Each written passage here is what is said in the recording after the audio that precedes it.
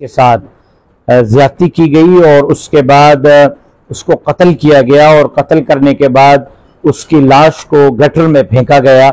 आज लाड़काना में 12 साल मासूम बच्ची के साथ ज्यादती की गई या नहीं, इसका तो मालूम नहीं, लेकिन कत्ल किया गया और उसकी लाश को भी नहर में फेंक दिया गया।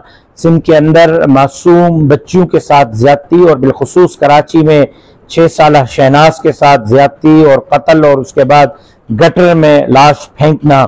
सिंध के अंदर आए दिन कबाइली लड़ाइयाँ और तकरार एक मरतबा फिर उभर रहे हैं।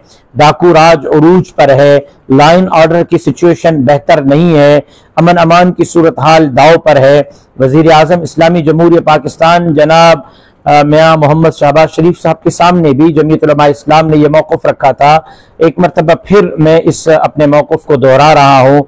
बच्चियों के साथ ज्यादती का यह सिलसिला बंद होना चाहिए। कत्ल गारत गरी का यह सिलसिला बंद होना चाहिए।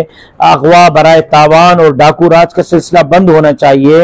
और उसके साथ साथ जो इस वक्त दोबारा कबाइली तकरार उठ रहे हैं, उनको ख़त्म होना चाहिए।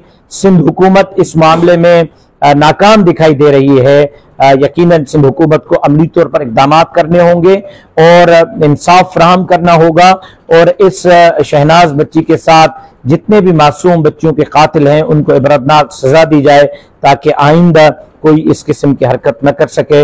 उम्मीद करता हूँ कि जल्द अज जल्द वरसा को इंसाफ फ्राहम किया जाएगा, कातिलों को केफर किरदार तक पहुँचाया जाएगा और इस सुबह सिंध को जो अमन की और प्यार की और मोहब्बत की सरजमीन जानी जाती है।